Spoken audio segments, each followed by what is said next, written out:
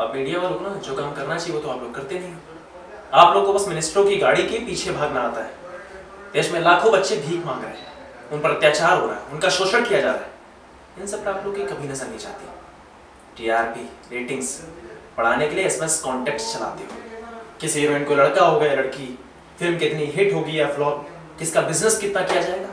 बस यही देखो तुम मीडिया वाले और जिन बच्चों की माँ की गोद की ज़रूरत है, उन्हें पढ़ने लिखने की ज़रूरत है। वो बच्चे आज हाथ में कटोरा लेकर सड़क पर भीख मांग रहे ये सब नहीं दिखता आप लोगों को।